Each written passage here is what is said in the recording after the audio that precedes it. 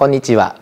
京都市京セラ美術館ラーニング担当の藤田です。当館のコレクションルーム学芸員の後藤さんと案内します。後藤です。よろしくお願いします。それでは参りましょうか。はい。コレクションルームができたのは、えー、再生リニューアルをそうですね。まあそれまではコレクション展という形であのもう本当に場所が確保できる時だけあの開催してきたんですけれどもこの再整備を機に、えーまあ、2020年から、えー、と4期にあの1年を 4, 4つの期に、まあ、春夏秋冬に分けて、えー、所蔵品を、まあ、各テーマをあの各部屋に設けながら展示をするという形であの年間通じてコレクションを見ていただけるというふうな展示室を設けました。はい、こちらの作品ですが、これはどういった作品ですか？はい、えっ、ー、とこれは菊池法文という、えー、まあ日本画家の作品ですね。あのまあ当館の作品の中でも春を、えー、代表する作品というか、あの春をイメージしたあの非常に大きな大作となります。でその画家のまあ本当に桜の桜を描いた代表作ともいえる作品で「えー、春の夕べ下の明日」という、はい、あのタイトルの作品になります。これは夕べと呼んで、えー、下の明日と読む、ね、そうですね。そういうふうに読ませている。はい。はい、えー、ちょっと暖かくなった桜が咲いた、えー、自分と、えー、まだ小寒い自分のまあ二つのこの春の様子というのを対比しているという作品になります。では次の部屋にはいはい次の部屋に移動します次の部屋も最初の部屋の続きでまだ春を、えー、テーマにした作品を展示しています。屏風とか掛け軸がずらっと並んでますけどすごいこれは展示ケースですね。そうですね。この反対側の展示ケースはあのこの度、えー、改めてというか設置したものでしてであの非常にこう反射が少ないあのタイプの展示ケースになっていますのであの作品が見やすいと思います見やすいと思っていました。はい、はい、これはあの、はい、掛け軸という言い方でいいんですか？そうですね。掛け軸の作品になってますね。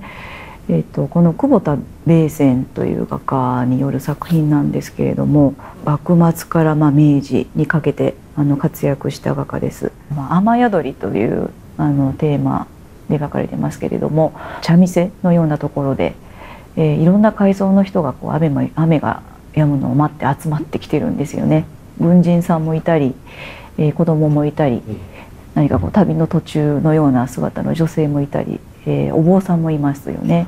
でこういうそのまあ、汽船を飛ばすというかこういろんな改造の人が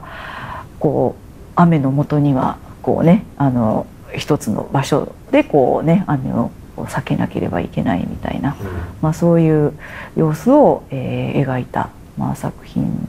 なんですね。はいでは次の部屋に行きますが。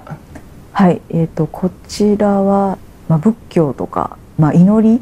をテーマにした、はい、展示、ね、この年の展示では祈りをテーマにしていますね。はい、はい、では次の作品ですがこれは、はい、えー、こちらは松本一葉という、えー、日本画家の「送り火」という作品ですね。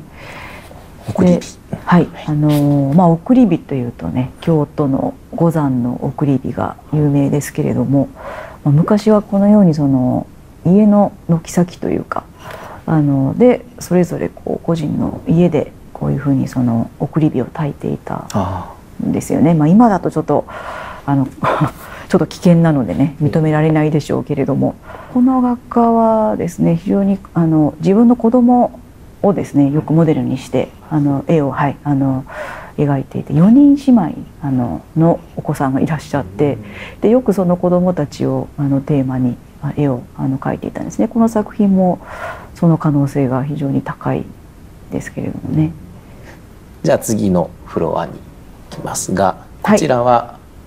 どういう場所でしょうか、はい、はい、ここちらがですね南玄関と呼んでいる場所でして、えー、もともと、ま、ここも入り口の一つとしてあの当初は使われていたようです。よね。であのチケットを売ったりするあのカウンターがあったりしましてねでその、えー、チケットを売る人がこう控える部屋、えー、事務所のような部屋が2つありましてでそこも展示室としてあの整備をしましてあのこういう工芸品を展示するあのスペースにしています。こちらの部屋は歴史をテーマにした作品を選んだ部屋になりますこちらは富岡鉄斎という、まあ、最後の文人画家と呼ばれた映画家の「魚章問答図」という作品ですその魚章問答っていうのは、え、中国の宋の、まあ、文人が表した、まあ、書物に、まあ、基づいたテーマになるんですね。えーと、漁師と木こりがですね、えー、それぞれ、えー、まあなんていうかな問答してる、まあ、語り合ってるというふうなあのテーマなんですけれども、えーと、右側のですね「まあ、3」って言ってあの文字が書いてある部分がありますよね。右側の3にはこう木こりの問いに漁師が答えていて自分のその力の限界を、えー、超えて、えー、貪らないことが賢明だっていうふうに書いてあると。で左側の A3 には、えー、その漁師の問いに木こりが答えていて、えー、こう周到に準備していないとえー、成果は出ないみたいな、まあ、そういうことが、えー、書いてあるということです。まあ、その木こりとその漁師の、えー、そのなりわいについての、まあ、教訓というか、まあ、そういう、えー、ものを描いている作品になりますね。はい次の部屋に行きますとここははい、洋画、えっと、はい、このお部屋は展示ケースを設けていませんで、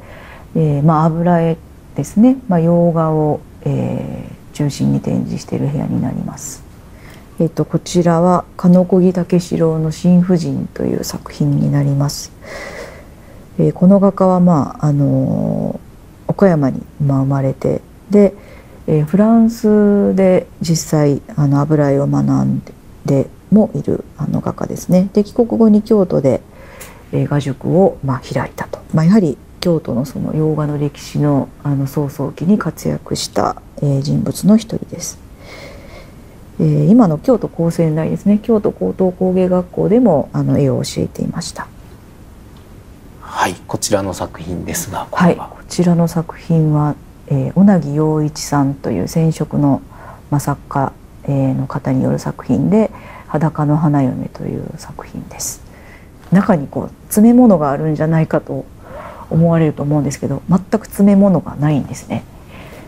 非常に太い先折りっていうこう布を裂いたものをこう糸の代わりにしてでそれをこう編んでいくことによってその織り組織だけで形を形作ったというそういう作品になります。